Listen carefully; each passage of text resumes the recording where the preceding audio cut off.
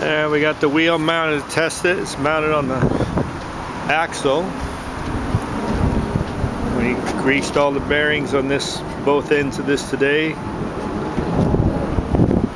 This will be our steering. Turn like that. Whoops! Hit the metal bar there. Anyway, it'll steer like this. Well, another metal bar in the way there, but still got to put the rubber on here. We're hoping to do that today, but it looks like we're going to run out of time. Okay, that's the wheel.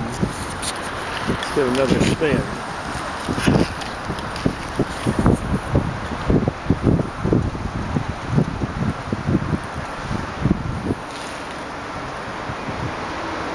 That's how it'll roll.